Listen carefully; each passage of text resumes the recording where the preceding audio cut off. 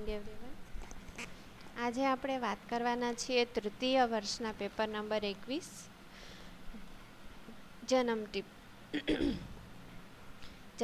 આપણે સત્તરમાં પ્રકરણ સુધી વાત કરી ચૂક્યા છીએ. અઢારમું પ્રકરણ છે ભીમો દવાખાને. હવે ચંદા તો ભીમાને છોડી ગઈ છે, પણ હવે સ્થિતિ એ થઈ છે કે ભીમાનો નવો ગ્રહ સંસાર માંડેલો છે. અને અંબા છે, એની બીજી પત્ની, એ પણ દોઢ મહિનો રહી અને પિયર ચાલી જાય છે. પિયર ગઈ તે ગઈ, પછી કોઈ એને તેડવા જતું નથી કે અંબા પોતે પણ આવતી નથી. અંબા જાણી ગઈ છે કે ભીમાના હૃદયમાં સ્થાન પામી શકાય એમ નથી. હવે પોષ મહિનો ચાલે છે, એક પોષ આખો અને અડધો મહિનો ભીમો દવાખાનામાં જ રહ્યો. મા બાપ છે, એની સેવા કરે છે. અને જ્યાં પેલી થાકેલી કંકુને લાગે છે કે આપણે ચંદાને બોલાવી હોય તો સેવા કરવા, દેવો તરત જ ગુસ્સે ભરાઈ જાય છે. હવે શું બન્યું છે કે ભીમો દવાખાને છે? અહીંયા તમને પ્રશ્ન થશે. જો આ લેખકની કળા છે કે પહેલાં એ બનાવ નિરૂપી દે છે અને પછી એ કઈ રીતે બન્યો છે અને શા માટે એ પથારીમાં છે એ પછી હવે તમને ખ્યાલ આવશે કે ગામમાં એ પેલું પાટણવાડિયા કોમ નદી કાંઠાનો વિસ્તાર એટલે ધાડ પાડવો, ચોર લૂંટારાઓનો પણ ડર રહેતો. હવે એક દિવસ એવું થાય છે કે અફવા ઉડે છે કે પેલા ધાડ પાડવો આવવાના છે, બધા પેલા ચોર લૂંટા કેમ પેલું શોલે પિક્ચરમાં આવે છે, ચોરો આવે, બધા પોતપોતાના ઘરમાં સંતાઈ જાય, કોઈ બહાર ના નીકળે, એ પ્રકાર એ એનથી થોડી સારી. પણ એ પ્રકારની કંઈક સ્થિતિ કલ્પવા માટે તમને સહેલું પડે. હવે નેમચંદ શેઠ છે. એને ઘેરે છે, એ આવી રીતે આ ચોર લૂંટારા કે ધાડ પાડવો આવે છે.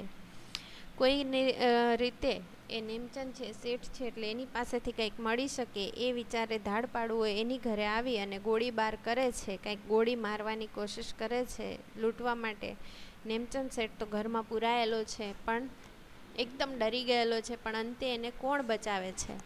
ત્યારે ભીમો છે અને એ આડો આવે છે, નિશાન ચૂકવે છે અને થોડીક પેલી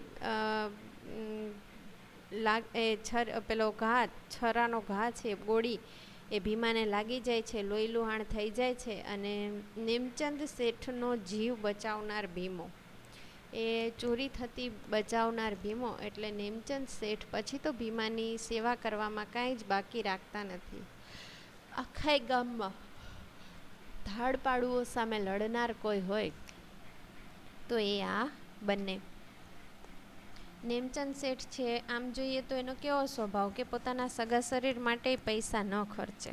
પણ આટલા બધા ઉદાર કઈ રીતે થઈ ગયા? પણ ભીમાએ પોતાનો જીવ બચાવેલો હતો, એટલા માટે એ આજે એની સામે મદદી આવેલા. પછી એ કંકુ અને પેલો દેવો છે એ હોસ્પિટલમાં કે દવાખાનામાં ત્યાં જ રહે છે. એની ચાકરી માટે પણ એને નોકર ચાકર રાખેલા છે. વારે વારે એની ખબર પૂછે છે. ખાવા પીવાની બધી વ્યવસ્થા છે. પૂરી દરકાર છે એ નેમચંદ શેઠે રાખી છે કારણ કે ભીમાનો આજે એના ઉપર ઉપકાર થયો છે એટલા માટે. ત્યાર પછીનું પ્રકરણ છે ચંદા આવી. હવે ચંદા શું કામ આવી છે કે શું એ એના હૃદયની સ્થિતિ છે કે એ વાત છે એ હવે આપણે આ પ્રકરણમાં છે જાણવા મળશે. હવે એ જ દાડે, એટલે કયા દાડે કે ભીમોને દવાખાને છે, શેઠ અને દેવો છે એ ઘેર ગયા અને ઢળતા બપોરે કંકુ છે એ પણ સૂર્યના તેજને લીધે આંખો ઉપર છાજલી કરીને જોતી હોય છે. દવાખાને માત્ર કંકુ જ છે. દૂરથી જાણે ચંદા આવતું હોય એમ એને લાગ્યું. કે લાગે છે કે હા, એ જ ચાલ છે, હાલવાની એવી જ ઝડપ છે. પણ એ આ બાજુ શા માટે આવે? અને લાગે છે તો એ જ કોઈક નોકર ભેગો આવે છે ઓળી બતાવીને નોકર તો પાછો ચાલ્યો જાય છે. અને કંકુની નજીક આવવા લાગે છે અને પહેલાં તો એ અંદર ચાલી ગઈ. કંકુની ગભરા મોકળા ગભરાયેલી જોઈને ભીમાએ ખાટલામાં પડ્યા પડ્યા જ પૂછ્યું કે, માં, એટલી કેમ હાફે છે? શું થાય છે? કોણ આવે છે? પેલી કહે છે, કંઈ નહીં બેટા. અને અટકી જાય છે કેને શું છે? કંઈ નહીં કંઈ નહીં. એમ કરીને ઊભી રહે છે. ભીમોય ઉત્સુકતાથી તાંકી રહે છે કે, કોણ છે? કોણ લાગે છે ને માં? આટલું શું કામ ધ્યાન આપે છે? કંકુને બોલવાનો પ્રસંગ આવે એ પહેલાં જ ચંદા છે, એ બિચારી મૂંઝાયેલી છે. એક વખત દીક એને કાઢી મૂકી છે, તો હવે એ શા માટે આવી? એટલે ચંદા છે, એ આવે છે. ચંદા છે, એ સ્થળથી પરિચિત જ કેમ હોય? એમ જ સીધી આવીને ઓરડામાં દાખલ થઈ જાય છે. કંકુને બોલાવે છે માં. એમ કહીને મીઠ્યા અવાજે એને આવકારો એને પણ બોલાવે છે. એ શબ્દની સાથે જ ભીમો તો અડધો બેઠો થઈ ગયો. એકદમ પેલું પોતાનું પ્રિય પાત્ર, પ્રિય સ્વજન આવે.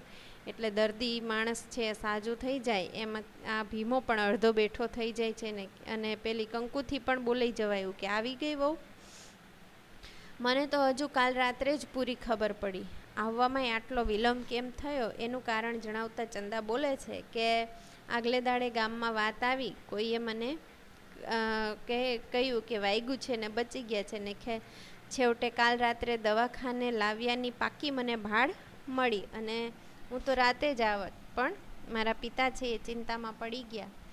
એટલે હું રાતે ને રાતે ન આવી શકી. રૈજી છે એ તો છો રૈજી પણ સાથે આવેલા જ હતા. એ બહાર ઊભા હતા અને એ તો દીકરીની વર્તુણક જોઈને એકદમ ડગાઈ જાય છે. જાણે એને ભૂતકાળનું બધું જ છે, તાજું થઈ જાય છે. કંકુએ તો એને એકલે આવતા જોઈ હતી. એને પાછળ હજી એના પિતાએ છે, એવી તો એને કલ્પનાય નહોતી. એટલે કે છે રૈજી મોટાઈ આવ્યા છે? તો કેમ બહાર ઊભા રાખ્યા? એમને પાણી બોલાવે છે, ભીમો એને પાણી આપે છે કે માં સસરાને પાણી આપો, પાણી પીવડાવવામાં આવે. આગતા સ્વાગતા જે વ્યવહાર થતો હોય એ લૌકિક વ્યવહાર થાય છે. અને ચંદા છે જાણે વાતાવરણથી ને રૂમથી પરિચિત હોય એમ તરત હોશિયારીને ચપળતાથી પોતે જ પાણીનો લોટો ભરી અને પિતાને આપે છે. આગળ નેમચંદ શેઠે બધો જ સામાન છે તૈયાર રાખેલો હતો.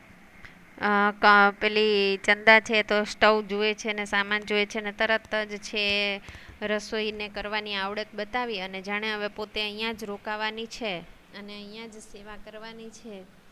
એમ ચાકરીમાં ને કામકાજમાં લાગી જાય છે, ભીમાની ચાકરીમાં ને કામકાજમાં. પેલી કંકુ છે એ રહીજીને પણ રોટલો ખાઈ જવાનું કે છે પણ રૈજી છે. એમાં સાથ પુરાવતો નથી કે દીકરીને હું તો મૂકવા આવ્યો છું એમ દર્શાવે છે અને દીકરી તો કામકાજમાં લાગી જાય છે.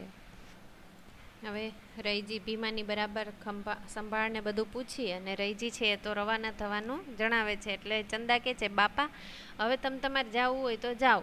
હું તો પછી તમારે મોડું થઈ જશે. એટલે ખ્યાલ આવે છે કે હવે ચંદા અહીંયા જ રહેવાની છે. કંકુને તો બહુ જ નવાઈ લાગે છે. કે આવી રીતે ચંદાનું આવવું એના માટે અકલ્પનીય હતું, પણ ચંદાને જોઈને ભીમાનું દુઃખ છે એ અડધું ઓછું થઈ જાય છે. રાતે ભીમાની જે કંઈ સેવા ચાકરી જાગીને કરવાની હતી એ બધી કંકુને બદલે ચંદાએ ઉપાડી લીધી. સુંદર મજાનું જમવાનું બનાવે છે. દેવોને કંકુ એ પણ આંગળા ચાટતા ખાતા રહી જાય છે. યાદ આવે છે કે વાહ, વહુના હાથમાં સ્વાદ છે ખરો. અને જાણે લાગે છે કે દોઢ મહિનો રહી અને જાણે કેમ પેટ ભરીને સરસ રીતે જમ્યા હોય એવી સંતોષની અનુભૂતિ થાય છે. અને ચંદાની લાગણીથી તો એનું શરીર છે એકદમ અડધું અડધું થઈ જતું. અને કેટ કેટલીય ઝંખના હશે. અને ભીમાને થતું કે હમણાં બોલું, કંઈક વાત કરું, પણ એકબીજા સાથે બંને બોલી શકતા નથી. કોણ પહેલાં વાત કરે? હવે જ્યારે બધા સૂઈ જાય છે ત્યારે પછી ચંદા અને ભીમા છે એ દ્રષ્ટિ દ્વારા જાણે એકબીજા સાથે વાતો કરે છે. બાર છે, કંકુ પણ હોશિયાર બની અને બાર ગોરધન નામનો નોકર અને બંને છે એ બાર જતા રહે છે. હવે ભીમો છે એ કંઈક વિચારે છે. ચંદાને ક્યારેય ન બોલાવત, પણ બારમાં સાંભળે એની મોટી પીડા હતી. એટલે હવે તો એ ઊંઘી ગઈ હશે અને નહીં ઊંઘી હોય તોય ધીમેથી એણે બૂમ પાડી કે, ચંદા ચંદા, ઓ ચંદા. પણ માણસ ઊંઘતું બોલે, ઊંઘતું હોય, કંઈ જાગતું હોય એમ કેમ બોલે? ટૂંકમાં ચંદા છે, એ જાગે છે, પણ જવાબ નથી આવતી. ભીમાને પાકી ખાતરી કે ચંદા જાગે જ છે, પણ રીસ ચડાવી છે. ચંદલી સાંભળતી નથી, તરત જ એમ હુંકારો કરે છે. અને પછી કે છે, ચંદા જોજો પાછો ઉઠીશ, તો તારે વેઠવું પડશે. એટલે ચંદા ચંદા પેલી મૂંઝાયેલી કે ઉઠશો તો તમને જ દુખશે ને તકલીફ પડશે, એમ કરી અને ચંદા પાછી બી જાય એવી તો હતી નહીં, પણ છતાં કે છે કે લાગે છે કે હવે આ નહીં માને એટલે ચંદા કાચી ન હતી, પણ અધ પેલી આંખો છે, આંખેથી ભીમાને છે એ તાકી રહી અને પછી ધીમે રહી અને ભીમા પાસે જઈને બેસે છે. અને કહે છે કે જો એમ ઊભો થઈશ તો તને તકલીફ પડશે, એમાં મારે શું છે?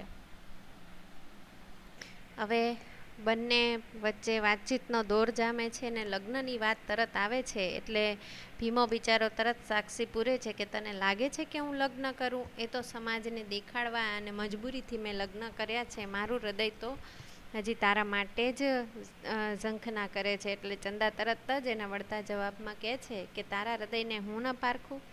કે મારું હૃદય તો ચોખ્ખું, મારું હૃદય એવું ચોખ્ખું કહેતું છે, કહેતું હતું કે એણે બીજું બૈરું કર્યું જ નથી.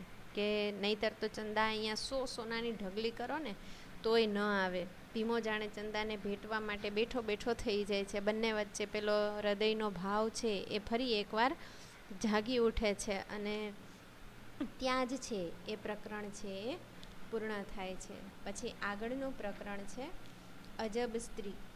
એટલે અહીંયા ચંદાની જ વાત છે.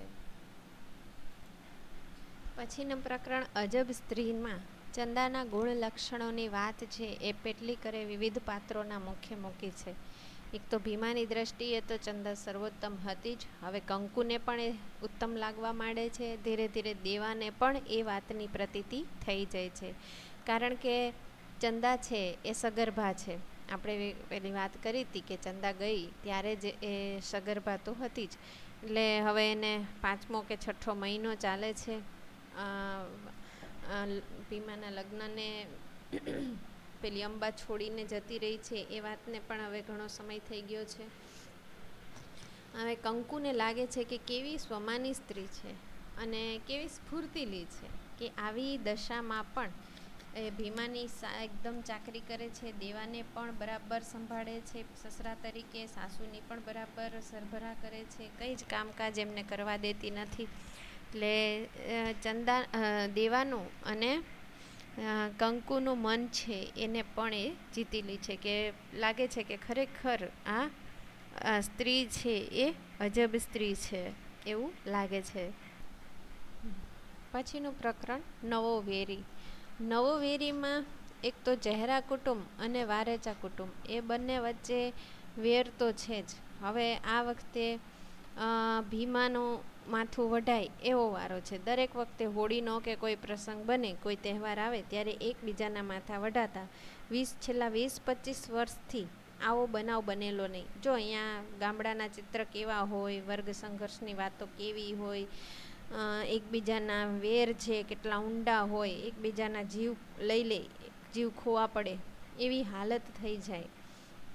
એ પ્રકારની કંઈક સ્થિતિ. હવે અહીંયા નવો વેરીમાં, એનો જૂનો વેરી તો છે જ. જૂનો વેરી કોણ? તો કે જૂના વેરીમાં એના જે વિરોધી કુટુંબ છે, એ એ તો એનું વેરી હતું જ. પણ હવે નવા વેરી તરીકે એમાં ભળે છે પૂંજો. અને શા માટે? કારણ કે પૂંજો છે. નીમચંદ શેઠને લૂંટવાનું કામ. પેલી ધાડ પાડવાનું કામમાં ક્યાંક ને ક્યાંક પૂંજાનો હાથ પણ હતો અને એમાં ભીમાએ અટકાયત કરી નેમચંદનો બચાવ કર્યો એટલે એ રોષે ભરાયો છે. અને બીજો બનાવ એવો બને છે કે જે ભીમાનું વેરી, સામેનું વેરી કુટુંબ છે. જહેરા કુટુંબ. હવે એમાં રામા નામનો વ્યક્તિ છે. એ રામાનો મોટો પુત્ર ભવો. એ બંનેએ કંઈક યોજના ઘડી છે અને આ ભીમો છે એને હવે પતાવી દેવો છે. આ વખતેનું વેર લેવું છે એવું કંઈક નક્કી કર્યું છે. પણ આ વાતની બાતમી ધીરે ધીરે કરી, વાયા વાયા કરી અને ભીમા સુધી પહોંચી જાય છે. એટલે ભીમો ગાડું લઈને જવાનો હોય એને બદલે એનો ચમત્કારિક બચાવ થાય છે. કારણ કે રાત્રે જ્યારે એક વાગ્યે એ ભીમો છે એ પેશાબ કરવાના બાને કે ઉઠે છે, ત્યારે એને વીછી કરડે છે અને હજુ વીછી ઉતરો ન હોય. કોની પાસે ઉતરાવે એટલે જેસંગની પાસે જાય છે અને જેસંગના ઘેરથી જ એને આ રામાના હુમલાની, રામાએ જે યોજના ઘડી છે, એની બાતમી મળે છે અને રામાનો સોરી, ભીમાનો છે એ આબાદ રીતે બચાવ થાય છે. પણ એનો વેરી, એક તો આ રામાનું કુટુંબ તો વેરી હતું જ, પણ હવે પૂંજો પણ એનો વેરી બને છે. એટલે એટલે ભીમાના વેરીઓમાં છે એ સંખ્યા છે એ વધે છે. એકને બદલે હવે એના બે બે વેરી ઊભા થયા છે ને ભીમાનો જીવ છે એ હવે પડી કે બંધાયો એમ કહીએ તો પણ ચાલે. ક્યારે એને એની જાનથી હાથ ખોવા પડે એ કંઈ કહી શકાય નહીં. ત્યાં સાથે એકવીસમા પ્રકરણ સુધીની વાતને આપણે ત્યાં વિરામ આપીએ અને બાવીસમા પ્રકરણની વાતને ફરી આપણે આગળના વિડીયોમાં આગળ વધારીશું. ધન્યવાદ.